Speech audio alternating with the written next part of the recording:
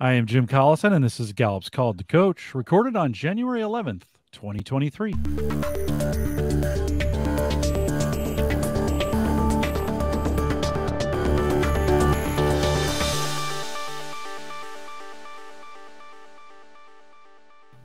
Called to Coach is a resource for those who want to help others discover and use their strengths. We have Gallup experts and independent strengths coaches share tactics, insights, and strategies to help coaches maximize the talent of individuals, teams, and organizations around the world. If you're listening live and you don't see the chat room, there's a link right above us there too. We'd love to have you sign in to the chat. We'll be taking your questions live during the program. Or if you have questions after the fact, you can always send us an email, coaching at gallup.com. Don't forget to subscribe on your favorite podcast app or right there on YouTube hit the subscribe button so you never miss an episode. Dipanjan Deb is our host today. DD, as we like to call him, is our market leader for Gallup and is located in India. His top five are context, individualization, learner, strategic, and achiever. And DD, it's always a great day when I have you back on Call to Coach. Welcome back. Thank you so much, Jim, and uh, a very happy new year to you as well as everyone who is watching the show. Uh, it's always a pleasure and privilege to be a part of this initiative, which you know was conceptualized way, way back when the Strengths Finder was still very nascent in terms of its application globally. And it gives me a great joy to see that the way we have progressed with this and the maturity and the development of content in, in these shows, you know, has led this to essentially becoming a case study for us. Yeah, uh, indeed. We have done, we started our 11th season. I think we've done at least 10 of those in India. So excited for this as well today. We have a fabulous guest. Why don't you take a second and introduce her? Absolutely, Jim. And I think uh, this, this, these, this, these shows are not much about me and you, and it's rather more about the people we get to host. So we have a very, very lovely lady to start of the year, you know, for us in 2023. Antje, as we popularly call her, is uh, is based out of Pune in India, but uh, She's from Germany, has worked in the US, uh, and has spent a significant amount of her time in Basel, Switzerland. Got involved with the Strengths Finder, I think, about a decade and a half back, I think 2010. Uh, got certified from Gallup in India in 2018 and has been doing some phenomenally brilliant work across diverse spheres. Uh, I will not take much of her time and you know share her introduction. So first of all, Antje, thank you so much for being a part of this and welcome to the Call to Coach. Thank you, DD, for the lovely introduction. Good morning to you. Good evening, I guess good late evening to Jim uh, over in the States. Yeah, my name is Antje. I'm uh, originally from Germany, uh, but have been living and working in India, or am living and working in India in my 10th year here. I originally came here for my ex employer to build up a, an offshore shared service center. And uh, after leaving that employer, I decided to come back with my husband and start our own businesses here in India. Uh, we have two major businesses. One is my coaching and consulting business, and the other one is a regenerative farm outside of Pune. Um, I have uh, been working with Clifton Strengths since 2010 when I was introduced to it by a team member of mine at that time who suggested that I introduce the team to StrengthsFinder at that time, uh, which I did. And that had such a lasting impact that I continuously worked with Clifton Strengths while I was still in corporate life. And as soon as I left corporate life, I took the opportunity to finally get certified and move to the other side where I'm basically now guiding primarily teams uh, to find out more about their strengths and apply them wisely and use them for the collective growth of the team and the individual growth. So that's a very, very you know, nice and crisp introduction, Antje. Uh, before we go deep into you know our discussion around the various points that uh, you know we would want to know from you, uh, why don't we first start with you know a little bit about your top five? Yeah. And before that, I just want to I just have a curiosity because you have mentioned time and again that you nurture people and soil, right? Yes. Uh, and that is something that intrigues me and i just want to know a little bit more about you because you you you, you do a lot of work in the farming space. So what do you mean when you say that you nurture people uh, no soil people and soil. people and soil? And also why don't you tell us a little bit about your top five? I know activator is your number one you know. Yeah. Uh, so uh, why don't you tell us a little bit about your top five as well as the deeper meaning around what do you mean by nurturing people and soil let me start with my top five because that will automatically lead into nurturing people and nurturing soil. So, as you rightly said, my, my number one is activator. I then have strategic, restorative, responsibility, and communication. And I'll start by sharing how what happened when I first found out about my top five. So, when I took the the assessment in it's actually 2011 i've just looked in my in my file um, when i got it and read uh, through the the top five talent themes, it was like a complete revelation to me. And the the the fantastic thing is that I suddenly had words to describe me. I'm someone who has always struggled um, to sell myself, to kind of tell people of what I'm good at and and and so on. And when I got the report, it was so factual that I thought, well, activator describes me so well. I'm the person to get in for the beginnings. And I told my boss just after getting the, the report, you know what?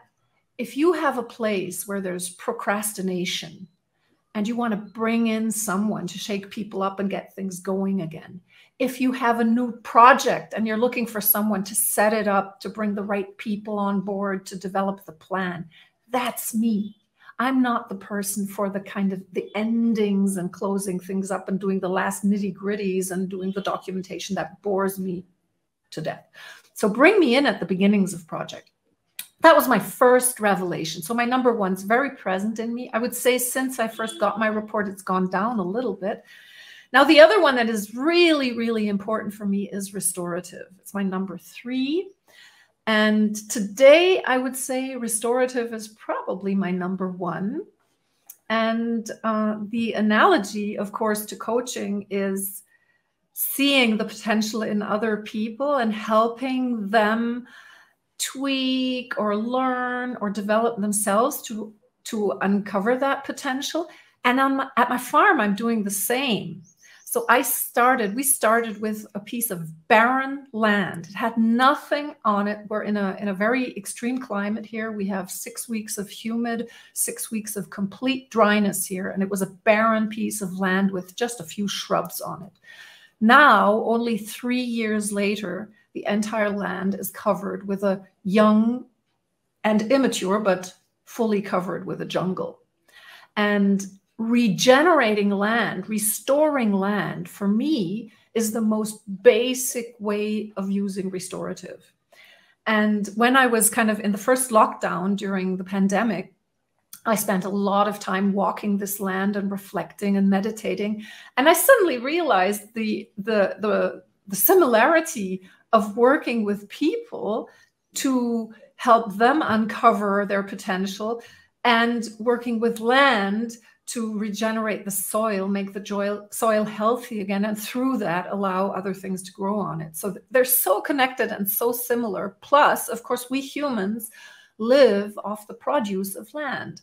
And the better the soil is, the better our food becomes, which again nurtures us. So it's all, in my mind, all intertwined and connected. Um, coming back to my top five, I mean, I could talk a lot about each of them. Strategic for me over the how many years is it now? 12 years that I've been working with strengths has changed a lot.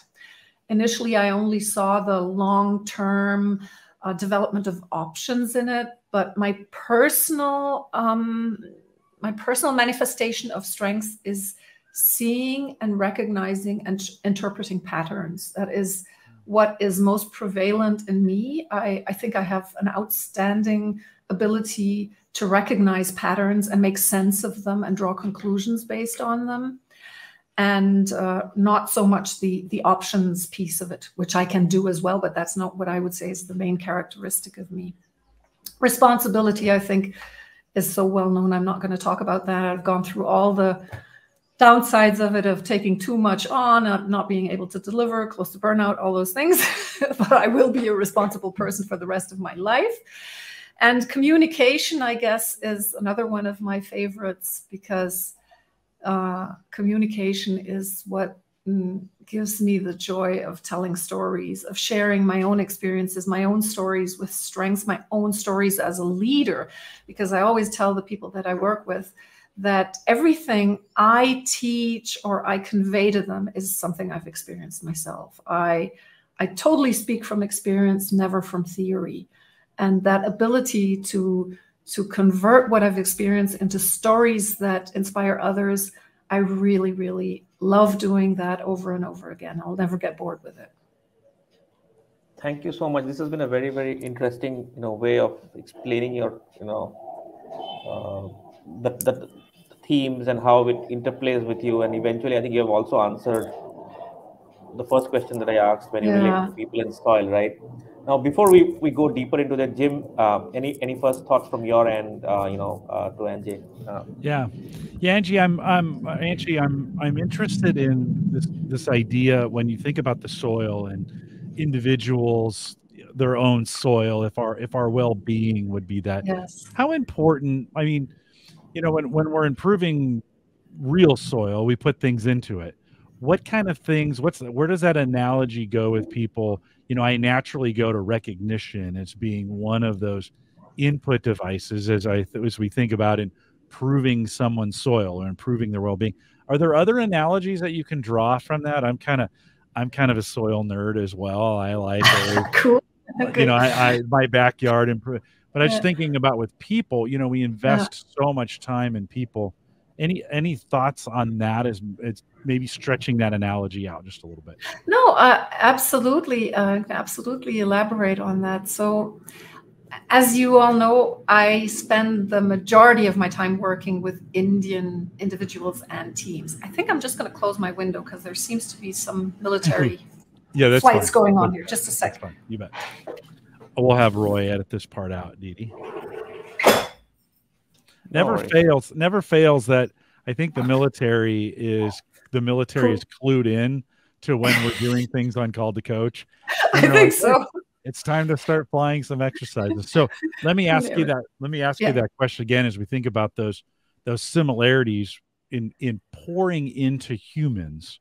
What yes. kind of things has has have you seen work so as i said i work primarily with indian communities and one of the differences that I've observed as comparing to Western um, teams and individuals, in I, I mean, my experience is mainly Central Europe before that, and a little bit North America, is that the level of self awareness in the average Indian person is much, much, much, much lower than it would be in a Western European or North American person.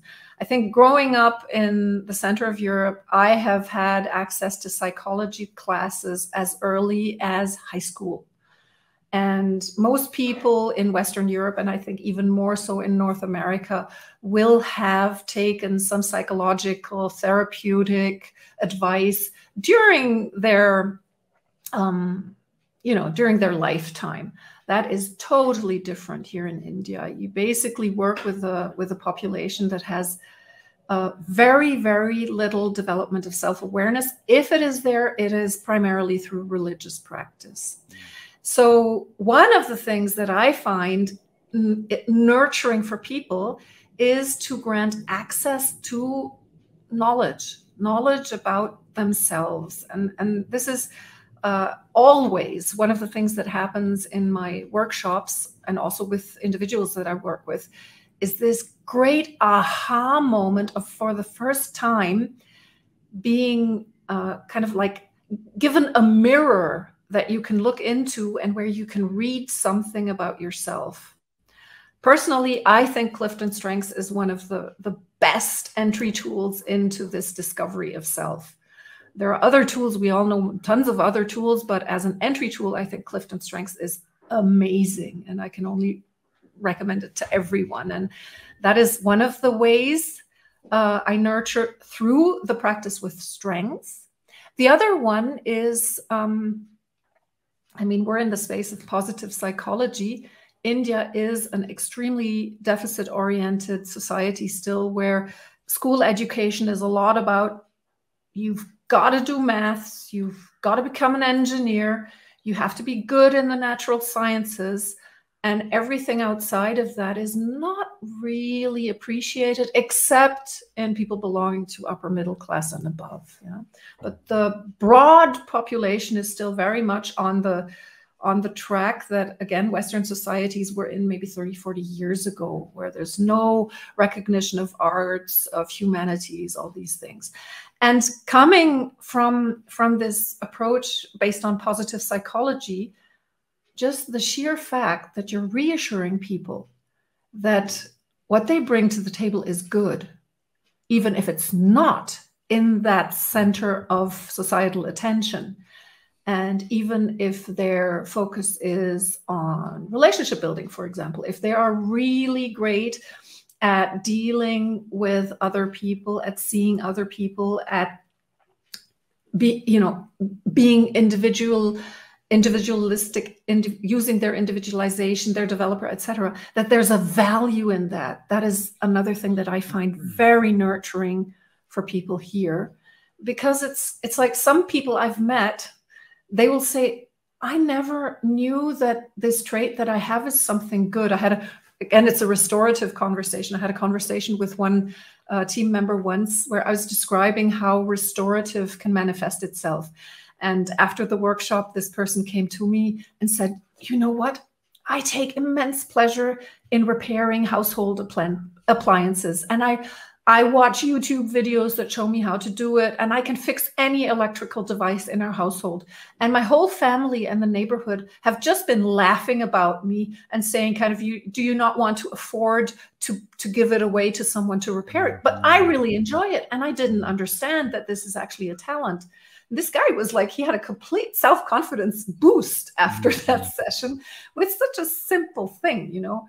Mm, and yeah, so those two things are the key things that come to my mind, Jim. Don't know yeah. if that's kind of answer you were looking for. Uh, yeah, just, uh, conversation yeah. is what I'm looking yeah. for. I, I, think one of the things, and we were talking uh, before the program uh, about this. I think, you know, sometimes when we think of a deficit culture, and that exists, uh, you know, in a, in a lot of the cultures, maybe more so in India, but it gets to one of the things I, I want to, I always want to remind us of as we're thinking about this is the end goal. Sometimes we never leave that deficit, right? And what I mm-hmm. heard you just say in that is we begin with, you know what? And you said it in these terms my whole life, I've been made fun of, or I've been told this wasn't helpful, or I, I have been punished for it, right? Yes yes. and and those those things that you know much like me i talked a lot when i was younger and my teachers would you know say jim would be great if he just didn't talk so much right but but what i hear you saying is quickly turning that once you've discovered those begin to say pull those out and say know what actually there's some hidden talent in there yes. or there's maybe some not so hidden talent in there right that is what makes you great and yeah. and begin to flip that i think if we live in the negative we we never get to the good stuff.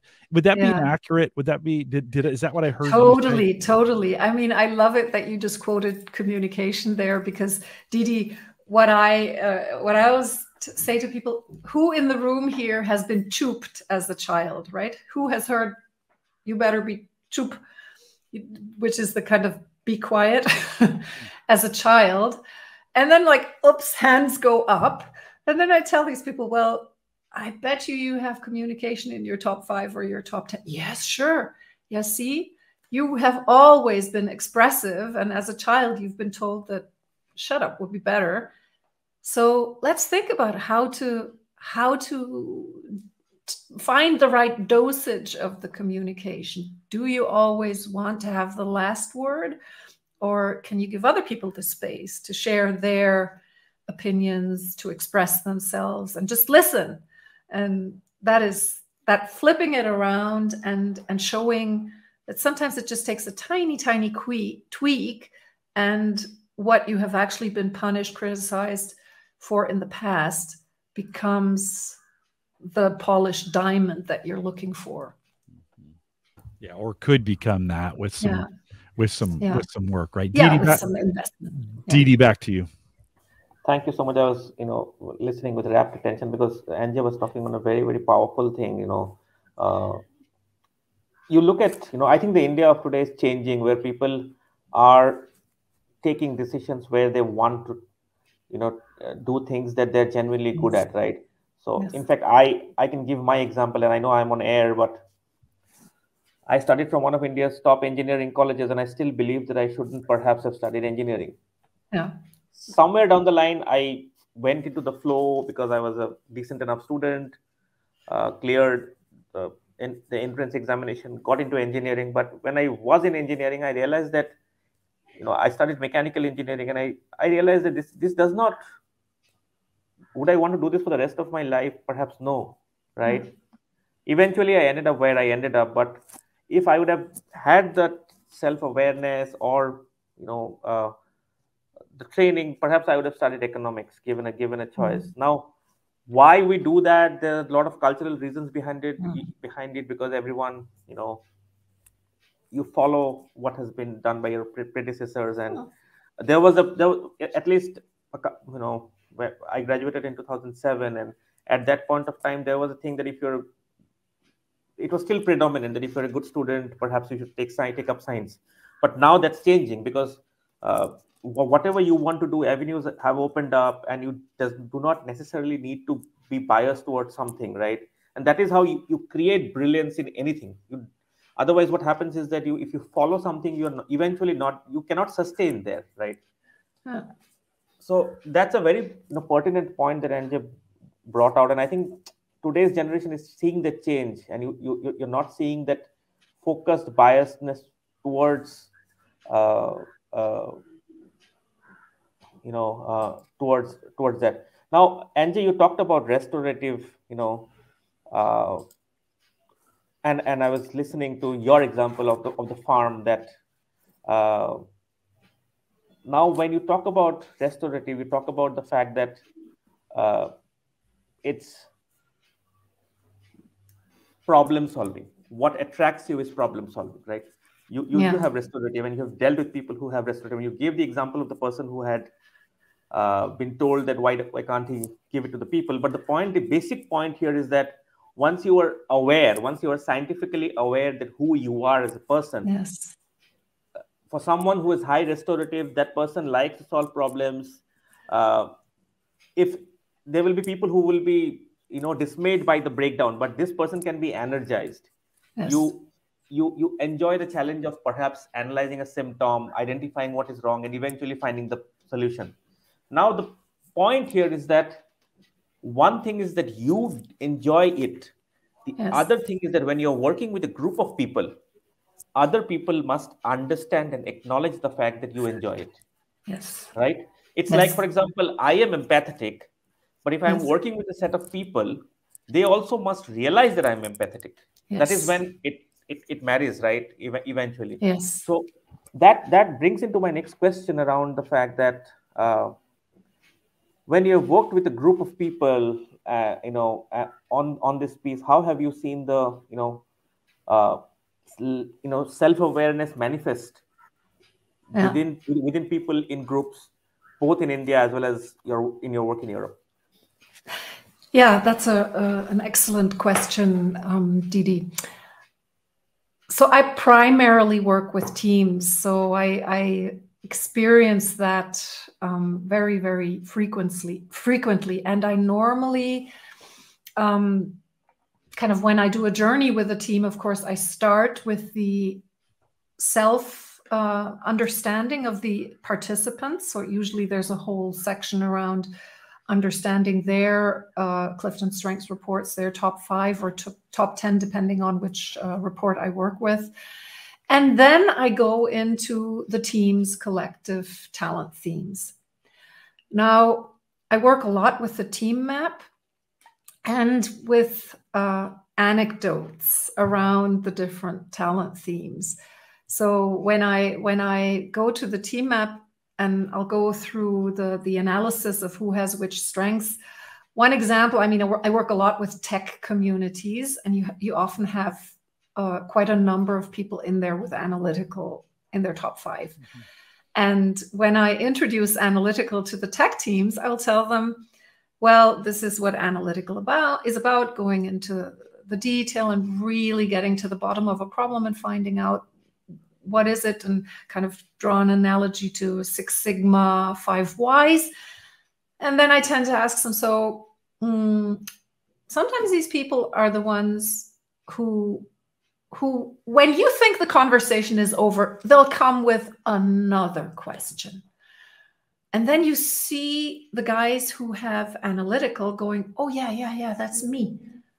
I've been told that so often. And the team starts laughing right so i try to keep it on a light note to to get the team to sometimes to provoke them a little bit with these stereotypes of uh, um, uh, well i would call it an over expression of a talent theme and the the fact that both the person who shows this behavior and the team can laugh about it mm-hmm. opens up the floor for a conversation around so team did you realize that this is a person that you can rely on to really get to the bottom of a problem, to find out what the root cause of something is, to really um, find the answer to a challenge that you have? And the person realizes that maybe sometimes they don't have to ask that last question, right? So, what I'm trying to say is mixing the actual explanation of the talent theme with pointing out certain behaviors that people might observe in individuals who have this talent theme and then working with the reaction of the team is what i like to do. Maybe sounds a little bit wishy-washy but i do this very much in the moment and based on the talent themes that are available in a team. Um, another one uh, one of my favorites actually to to work with teams on is deliberative, um, where explaining to people that people with deliberative are you know sometimes misperceived to be the ones who are really really get stuck in the detail and always raising the risks of something and maybe the others want to move on fast. But that as a team, it's really useful to realize that these are like these are people who are like safety rings for the rest of the team who will make sure that no major mistakes are made or that the risks are considered in the plans. And I think it's this kind of open dialogue where you involve a person representing a talent or having a talent and the team and you get them to talk about these reactions. And regularly after the workshops i find that teams have a different appreciation of their colleagues. Um, i mean i think that's nothing nothing special. Probably happens to every strengths coach but it's uh, it's a great experience every time i think. Absolutely. And, and and you have you've touched down on the deeper deeper application of the of the of the talent themes. Now you mentioned deliberative, and yeah. I I just got a chance to now quiz you on something I, I didn't plan to, but uh, you you you have number one as activator, right? And yes. activator and deliberative are just essentially the diametrically opposite so uh, when you have activator, you know who you are, and you would want to make your hands dirty. You would you, things excite you, right? At the beginning, you you don't care what is right or wrong. You just want to be there. You'll eventually find your exactly. path and you will you will get your path. But when you deal with people who are deliberative yeah. right? Now this is this is this question is to you as a as an individual as well as to a practitioner. When you deal with people who have high deliberative uh, it means that they are careful they are vigilant they are private they know they want answers before they will respond right yes. How do you how do you manifest that? Because that's an example we've been taking for years now. Yeah have, it's one of i, have, I great question. Right. i love the question. So i mean i've been working with my same clifton strengths report since 2011 i'm not a fan of retaking the report and i try to tell people you i still find new things in my report after 12 years. And deliberative is a really interesting one because when my self awareness was not as high as it is today, people who have deliver, deliberative, they rubbed me up completely the wrong way. I would have had very unfriendly terms to describe them, which I'm not going to repeat here because they were the people who tried to stop me. Yeah, they kept coming up with their concerns about this and that. And, and I just wanted to push forward, right? Now, as my self awareness grew and I started realizing, holy crap, I miss out on things. I do miss out on things because I don't go enough into the detail. I need these people. And I had uh, actually the, the yeah, it, it, was a gift to experience a, a previous team member of mine when I was still in corporate life who was a data expert. Deep, deep, deep, detailed data expert. And Actually, the entire organization did not understand this guy. Hmm. And he ended up working for me. And at the beginning, I didn't understand him either. But then it happened to me two or three times. Here's my pattern recognition that this guy told me something which I ignored. And a few months later, suddenly what he had said happened. And then I realized that this guy had a real kind of smell for things that could go wrong and, and happen but nobody ever listened to him. And at that point in time, I started putting myself in front of him. He was like two levels down in my organization, so not even reporting to me directly. And because people were putting him on lists to be, you know, put into a restructuring program and etc. And I kept saying, no, nobody is touching this guy because this guy knows where we are exposed, what can happen, and he says the right things, but we don't have the bandwidth or the attention span to listen to him, and we have to listen to him. And he stayed there until his official retirement age in a protected spot. But I had to put myself in front because the organizational um, DNA was not to listen to such type of a person. Long story short, today I recognize people with deliberative pretty quickly because it's still I still get impatient with them Hmm. but then, of course, I have this inner voice which has developed, which is now saying, no, no, no, hang on, slow down. Let them make their point. Even if you're not interested in the point right now, they may have a point and you have to listen. And I think that's the classical journey of your rising self awareness. With that, automatically comes the awareness of other people, but it has to start with yourself. If you don't start with yourself, you, you cannot other, understand other people either absolutely. And and you know a classic case of uh, you know uh, an activator versus a deliberative can be something yeah. like yeah for example uh, imagine the fact that i have a very high deliberative and you have high activator right? And we're working together. You send me an email. Yeah. And i don't respond because i don't respond because i don't have the answer yeah. right? Now yeah. when you don't know who i am yeah it might lead you to the fact that you know why is DD not responding to my email? It, it's it's basic courtesy, right? Or yeah. uh, he, he's not paying me the basic respect that uh, a, a, colleague or a person deserves. Yes. But I am not thinking it that way. I am thinking that uh, let me have the answer, and then I'll respond to Antje. Yeah, yeah, yeah, yeah. Now, when both of us are in our own loop without being aware of who we are, yes, this kind of things can manifest i'm just giving one you know example from yeah. the top of my mind but the moment you are aware who i am right yeah. you will yeah. in your as you said right first be aware of yourself and then be aware of the people around you which is where listening becomes a very important factor or interacting with people becomes a very important factor Another really nice example for that in the context of working with leaders and managers are developer and individualization where I mean their their gift is to really make other individuals flourish. So as a manager, they're usually very much liked by their teams and so on. However, when it comes to difficult situation in companies, they're also the ones that are extremely protective of their teams. They don't want to kind of resize their teams, let go of anybody. Nobody is a bad performer in their teams. And kind of first of all, making these people aware that their gift can also really stand in their way when it comes to taking tough decisions around people.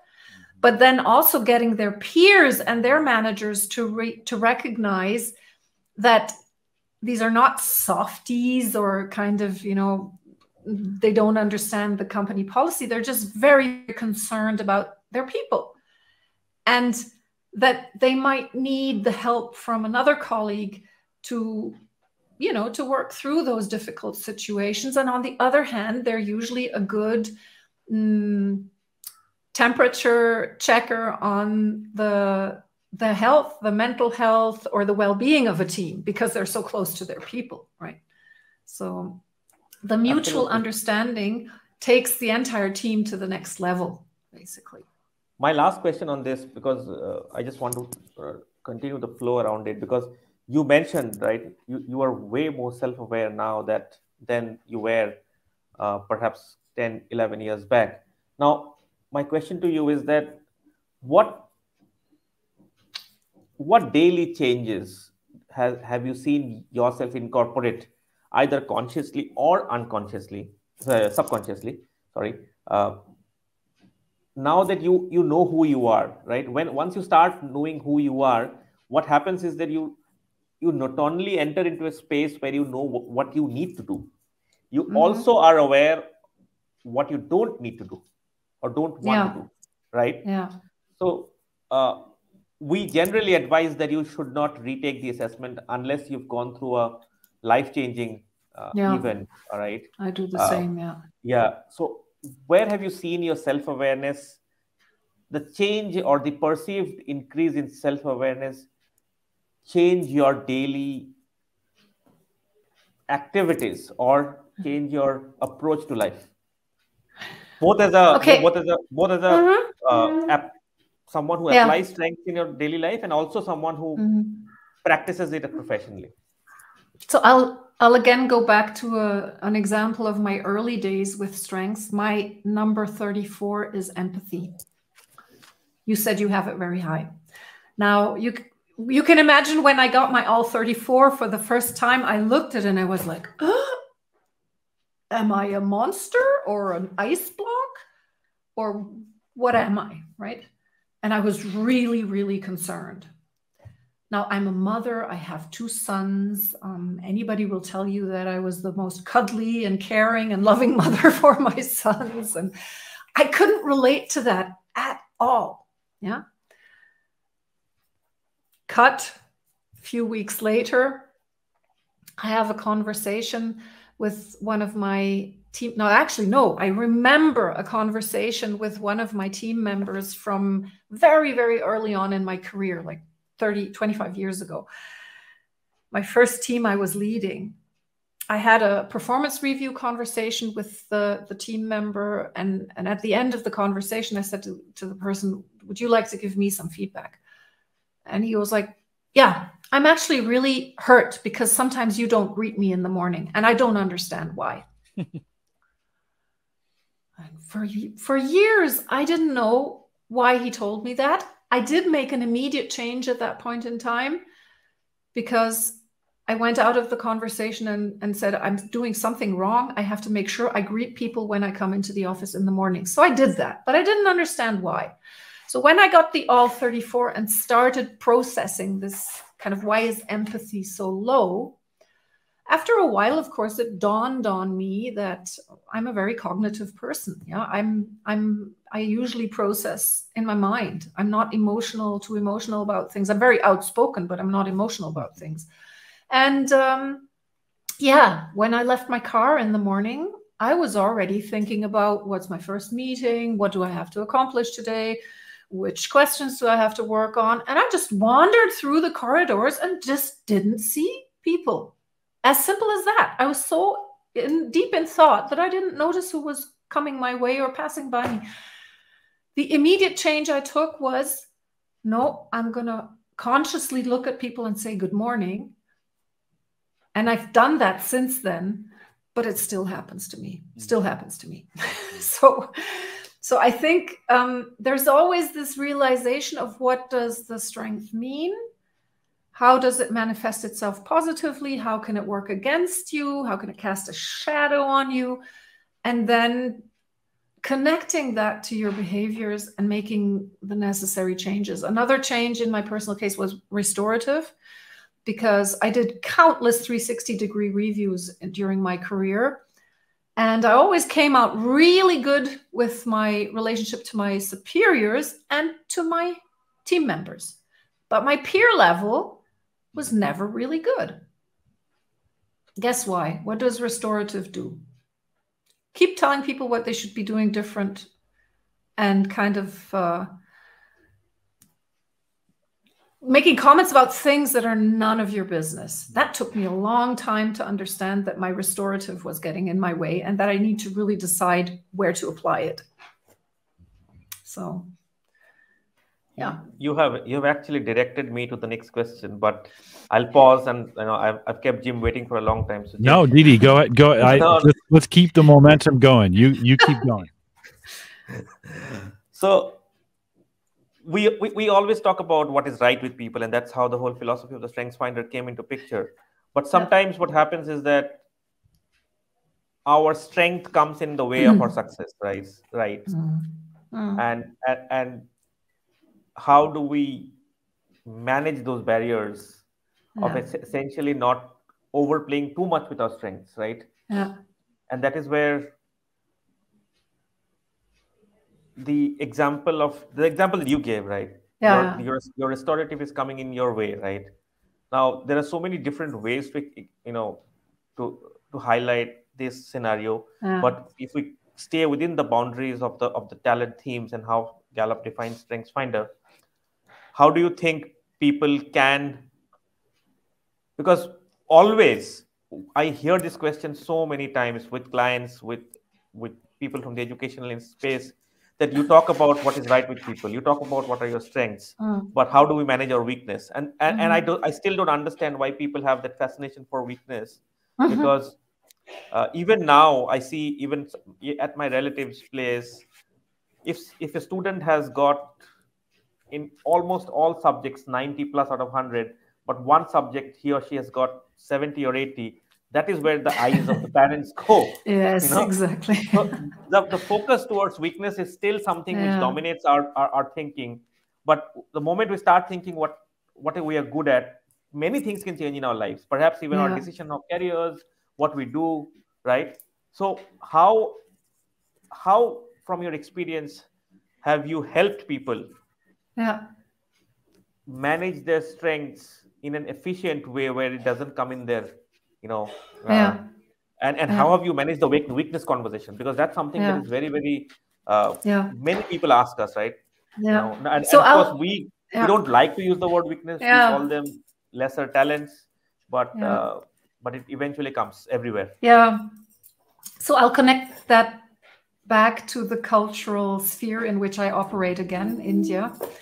And when I started uh, giving my workshops here, um, I made an experience which I found extremely frustrating. So I talked all day about the talents, how to develop them, and you know, did all the the things we do. And then at the end of the workshop, I did a um, a checkout round with the team where I said, "What's your one biggest takeaway?" And 80% of the people would come up with, yeah, my biggest takeaway is I don't have strategic, I have to develop strategic. So they would always look at their strengths, identify the gap, and say, this is what I have to develop, which is totally against what I try to teach people and what Gallup tries to give people, right? So I kept thinking, what is wrong here? And this is when I, after a few of these workshops, came to the conclusion the deficit orientation is so strong that it automatically overtakes. Same thing that you said, DD, the example somebody can have in nine out of 10 subjects, great marks, the parents will focus on the one with the bad marks. And exactly the same thing was happening in the workshops until that, I hadn't had the um, barriers, enablers, hinders, whatever we call them, in my programs. And then I started to include them and actually spend quite a bit of time on them. So, what I usually do is I take the top 10 of a team and the aggregated top 10 of a team. And then I talk through those top 10 talents in detail. Until then, I had only been talking about what is the positive manifestation of the talent. And then I included what is, how can it stand in the way of success? How can it cast a shade on people, especially in the perception of others? And that was like unlocking this for people. Hmm. Because at that moment, they started to understand that and they started to recognize some of the feedback that they had been given so what we as gallup coaches term as a as a hinderer they had received as negative feedbacks which then allowed me to say okay so let's look at how this talent can make you shine and how to invest in this talent to build up knowledge skills how to practice it to really get you to a point where you don't get that feedback anymore and that's when the checkout sessions started to change also. When i when i suddenly got people saying okay i want to develop my such and such talent more rather than focusing on the talents they don't have. The other thing that i now do regularly is to take a closer look at the bottom five um, if i have them if i work with the all 34 because i also realized over time that blind spots can become can really become blockers for people, for individuals, but also for teams. Um, and I'll I'll share one that I've come across very commonly here, which is context. Context seems to end up very very low in individuals and and teams on average. And my number course, one. It's your number one. Wonderful. You're an exception in my experience so what happens if a collective has context very very low? It means that they have no appreciation for what lies behind them. They don't think about the history of the company the team themselves. It's all forward looking which means they're constantly reinventing the wheel on everything right? And they don't celebrate the past nothing. So so it's kind of making them aware what does this collective blind spot um, what, what, what does that what is the behavior it leads to? Right? And um, these things. So that's just one example. Mm. perfect and in yeah. fact uh, when i when i first joined gallup and you know i had already taken the StrengthsFinder by the time i joined and uh, i had my coaching session with a very senior lady in singapore and my first question to her was that can i remove context from my life because people always tell me that don't go into the past? She said that she said that no, she was laughing and said that no, no, you cannot do that, but you can use it as a as a strength. And in fact, since then, I have yeah. because I can't. I like being in the past. I yeah, like to yeah. analyze data and then use to reconstruct my future. And uh, I just can't change myself, except the fact, you know. Uh, so that's so, so, absolutely thank you for bringing that up. But Jim, I've taken enough time of yours, so um, I'll let you, uh, you know, with your follow-up question on the, on the on the topics that we discussed. DD, you're the you're the host here. You're the host. uh, let let me well let me I will ask this question though. As, as we're thinking about that, we've spent the last couple years thinking about managers and giving them the tools that they need. Right, managers are just they're absolutely just getting destroyed at the moment. Yeah. When I think about that. Yeah. When you when you think about using CliftonStrengths from a team perspective, and maybe yeah. even I think a lot of managers struggle with the performance management piece. We've alluded to it several times, right? Yes. Really developing and managing yes. their people from that perspective. How how can that help? How can them knowing both individual and team yeah. help them maybe re-look at the way they do performance yeah. yeah so when it comes to organizational rollout of strengths that is for me the icing on the cake um, and every organization that basically rolls out strengths at large scale i think has an opportunity there to to not not uh, ignore or let go of. Because basically if we think of um, performance management the performance management cycle which starts with setting targets usually having a mid-year review and then an, an end-year review and uh, often some kind of calibration related to it um, I try to uh, yeah teach managers that they can use uh, conversations about talents and strengths in each of these conversations. So let me give an example. If you start with target setting, Of course, targets are usually some kind of numeric target targets for many people, like increase sales by X, um, improve KPI Y by Z, etc. And people say, "Hey, how can I use my talents to improve that?" Right? And and that's exactly the question I would like to see managers asking their team members. So your target for the next year is to increase sales. DD, your target is to increase sales by 10%. How do you think you can use your context to achieve that? How can your context help you achieve that target? And then the other targets. Now, of course, the prerequisite to being able to do that is that the manager has quite a decent knowledge of talent themes and strengths. So it's a journey to get there. You can't teach a manager about their own strengths and then expect them to do that. And I would love to see programs and more organizations investing time on how can we adjust our HR processes? If we say we're a strengths-based company culture, we have strengths-based cultures culture. How can we adjust our people processes to really reflect that? Now, as an external coach, you have limitations, how far you can go in there because it's in the accountability of the HR teams. But if you ask me what's your dream for the next five years, I would say ah, I'd be thrilled to be in a project where an organization says we want to reconfigure our HR processes to really operate based on strengths and to to kind of teach these. I've seen one organization that does it pretty well where they've really created a lot of handbooks and things to guide their managers. Um, but I think there's still quite a way to go on that. And the same you can then do, of course, in the review. How did you use this talent? Um, if you have a very well versed manager, they can even make suggestions around what to change or how to use other talents or which talents maybe to give more attention and focus in these processes.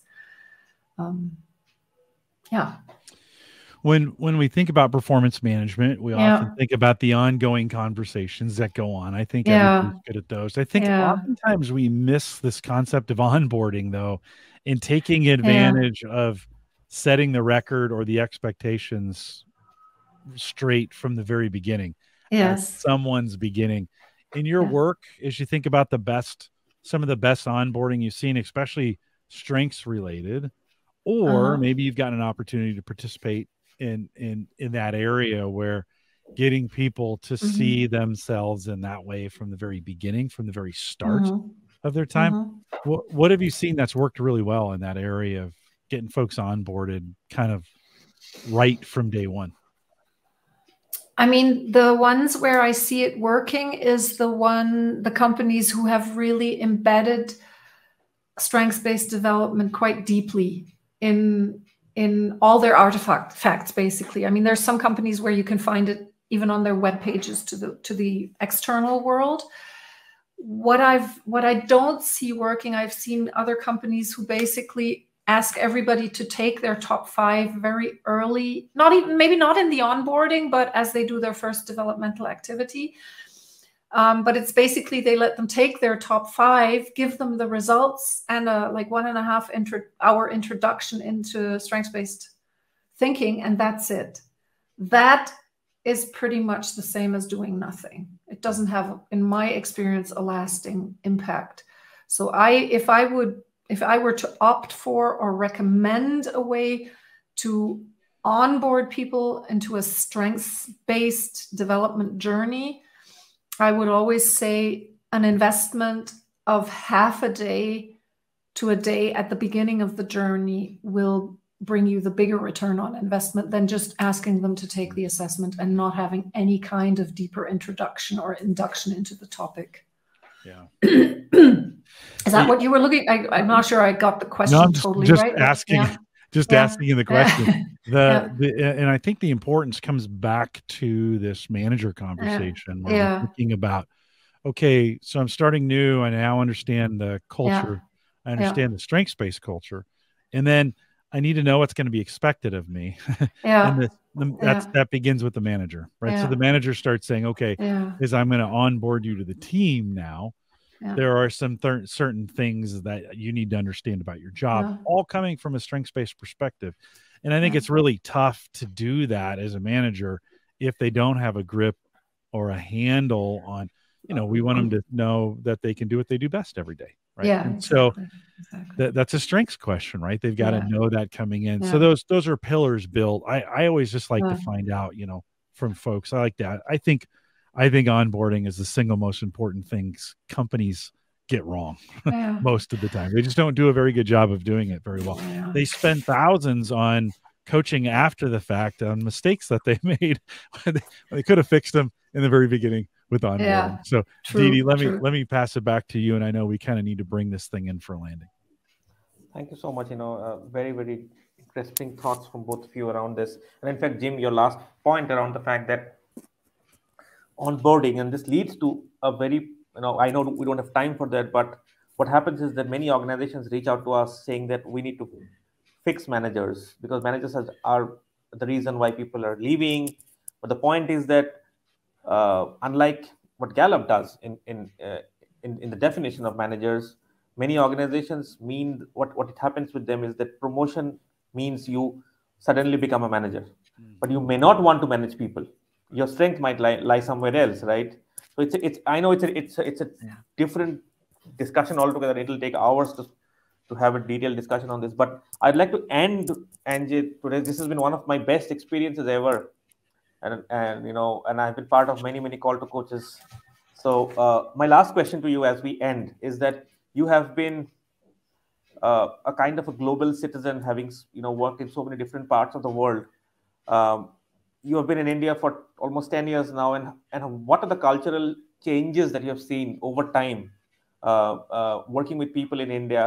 uh, from your experience in Europe, Western Europe, as well as in the US, uh, and, and and how is India responding to your, you know, the changes that is happening with with time, especially around your work in the strength space. Yeah, wow. so, first of all, I'm here because I believe in the potential of this country and its people. I'm here because I consciously decided I want to be in this company, which is striving upward rather than where I come from, where everything seems to be going down. Um, I'm here because people here want to achieve something, they are open to change, they are very, very adaptable. Um, and I think there's a huge potential in the country. I can't talk as much about that as I would, but and I think CliftonStrengths have a huge role to play in this journey for the reasons that I elaborated on early. For me, it's a great tool to start this journey of self exploration and exploration of teams. So I hope I can be part of that journey for many years to come and contribute actively to getting as many people on board as possible. Uh, it's um, I love doing it. And um, I'm really, really happy about the leader and the manager report. so keep going, Jim, with more stuff like that. and I think uh, I don't, I don't think that there is a better way to end this when you said that I love doing it because that's essentially what the StrengthsFinder talks about. That we help you to figure out who you are, and you know, and the more you do things that you really love, that's when you create brilliance. That we, that's when you create innovation. That's what you create uh, a, a situation where you really, really thrive in what you're doing, right? So uh, I think that's all from me, Jim. It has been a really, really enriching discussion with Antje. Over to you. Yeah, Antje, thank you for for being a part of this. Good to see you again, and good to talk to you again on that. It's I get excited thinking about now. I'm like, oh, spring is spring is still still like eight or ten or maybe twelve weeks away, and uh, you know that's my that's my favorite time of the year and yet, I think as I hear about you and your coaching, I, I get that sense of spring from you and your coaching, that working with people, it's like every day is spring and there's new things to do and new things to grow and to flourish. And so thank you for, thanks for doing that. And t- thanks for being in India to do it. Thank I mean, you. Thank you both. Uh, and thanks for your great questions. Yeah, I know it's great spending time with you. You guys hang tight with me for one second. We'll remind everyone to take full advantage of all the resources. You might be wondering, like, hey, how do I get more information about some of these things that we talked about? Well, it's in Gallup Access. Head out to gallup.com slash CliftonStrengths. Tons of resources for you there. If you log in, if you've taken your CliftonStrengths, if you log in and go to the resources tab, There's tons of resources. Like any of these themes, you can type it in. It'll give you all the stuff that we've ever done on it uh, right there for you to. If, and if you're a learner input, you'll love it as well. For coaching, master coaching, or if you want to become a Gallup certified strengths coach, you can contact us. Send us an email, coaching at gallup.com, and uh, we will get someone to get back with you on that. Don't forget the summit's coming up here. It's I know it's in the United States. It'll be virtual as well, but our summit is coming up uh, here in June. The 2023 summit details gallupatwork.com. Don't forget to join us on any social network by searching Clifton Strength. So we want to thank you for joining us today, whether you watch us live or you listen to this in the podcast. Listen, I know many of you listening to this podcast right now, you hear about a lot of things that are going on around the world. This is pretty important stuff. So um, hopefully today it's gotten you to think a little bit more about what's going on in India. Thanks for joining us today. With that, we'll say goodbye, everybody.